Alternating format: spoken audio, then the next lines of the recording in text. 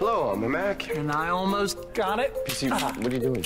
Oh, I'm trying to keep you from stealing more of my users, Mac. You see, people see you have Office 08, they're going to start asking themselves, what can a PC do that a Mac can't?